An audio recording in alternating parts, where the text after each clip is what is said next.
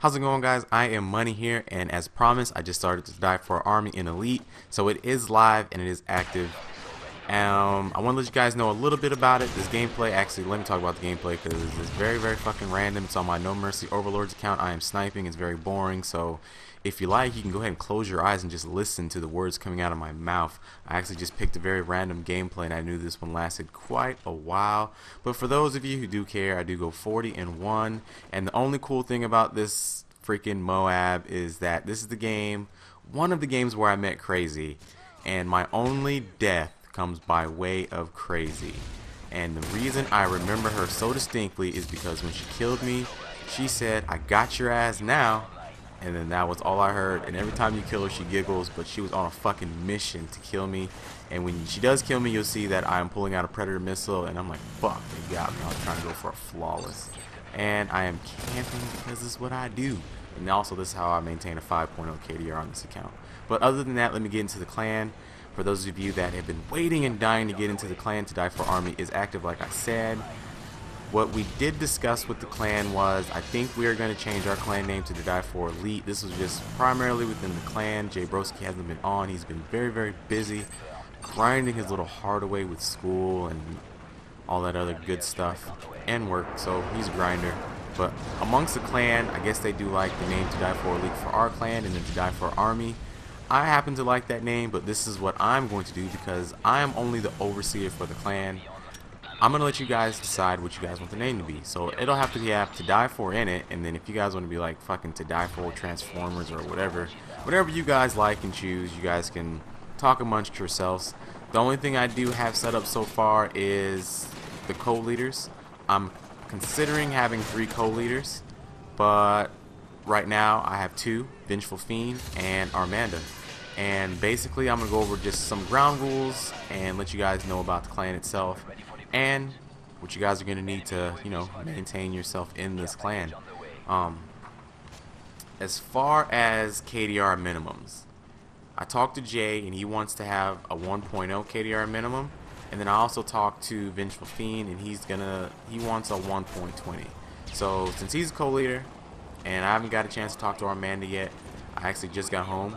I for right now I'm gonna institute a 1.20, and that's only because we actually have a lot more people interested in the clan than I suspected to be interested in the clan. So to give those guys a good roster and give them, you know, a fighting chance to be freaking known and get all their stuff together, I'm going to institute a 1.20 and I may drop it to a 1.0. Um, at the very minimum, it is going to be at least a 1.0. So let me go over some of the ground rules, and this is just the bare minimum, and then I'll get into some other stuff that's clan related. Bare minimum, no death streaks, that means no death streaks that you can kill people with. No last stand, no martyrdom, no dead man's hand, none of that stuff. Um, no tubes, no smalls. Like I said, you can use attack insert. Um, I don't really think you'll need it, but you can use attack insert. Like I said, it's kind of frowned upon, but it depends on how you're utilizing your attack. That's gonna, you know, determine if you're camping or whatnot. And when I get with the clan and get everything situated, I'm gonna tell you the difference between camping and, you know, spawn control and all that good stuff and we want to be able to maintain a good clan name. So here are some, this is basically five things that I've come across that are just off the top of my head in terms of a clan. Don't yell or complain at teammates. That is one of my biggest pet peeve in the world. Um, do not yell at your teammates. I understand teammates do crazy things sometimes and they may get you killed. It doesn't matter if you get killed off a Moab streak or not. Do not ever yell at teammates because you need good team morale. And you don't want to be that guy that no one wants to play with. So keep that in mind. Um, like I said, that is literally my biggest pet peeve when it comes to Call of Duty and being in a party or playing with a team. Never ever yell at your teammates. Next, uh, I'm not in the clan. I oversee it. For issues, speak to the clan leaders. Right now, that's Vengeful Fiend and Armanda. I will not overshadow them um, because it's your clan, not mine. So work together. If you guys have disputes, work among yourselves. If I need to intervene, then basically I'm just gonna take the word of the uh, the, the co-leaders, um, and I'm gonna work from there. Number three, one warning will be given for any clan kicking offense. Remember, you represent a clan; it's bigger than you. Opponents camp and they too. We understand that, but you need to find ways to work as a team and win. Don't result to their tactics. We are a gun game clan that goes for to die for elite and To Die For Army. You guys are basically held to the same standards.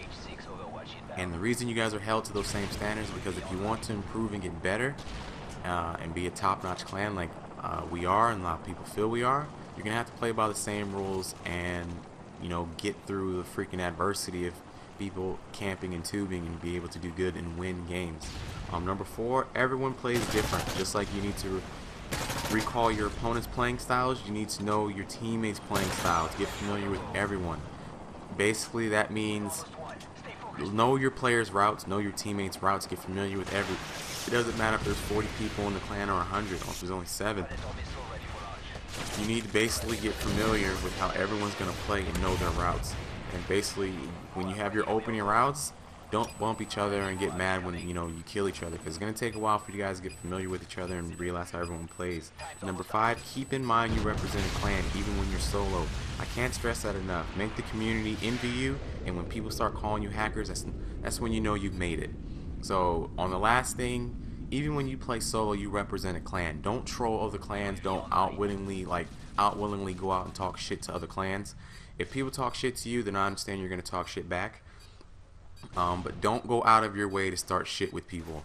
Um, that's not what we're about, and technically you can't go about that until you become a winning fucking team. So let me stress that enough. You do represent For to Die For, um, and you guys are just starting off, so do big things, man. I, I, expect a lot out of you guys, and we're gonna help you guys grow together and fucking become a fucking championship caliber clan. So I've already got the clan launched. Everything's already uh, ready, set to go. I'm actually gonna get on my um, account that's registered for that clan and knock out your guys' first clan challenge, which is going to be most special uh, streaks used. And you're going to have another one. I'll be on every day, not to, you know, be in your business, but I'll be on every day to register for um, clan ops and anything that'll get you guys clan XP. And when I have the time, I'll go ahead and partake in those and try to get you guys situated. So that's all for right now. I'll catch you guys next time. If you have any questions or you want to apply for the clan, I'll leave all that information in the description and in the video itself. Let's get this shit rolling and I'll drop you guys another video later for those of you who didn't find this video entertaining and are interested in To Die For Army. I'll drop you guys a, a live assault fail Moab later on and Taz drops a Moab in that gameplay. So I'll catch you guys next time and crazy, look how far we've come. Look at that. Now we're like best of fucking buddies. So um, that's all right now guys. Freaking big things for the clan. Catch you guys next time. I am Money out.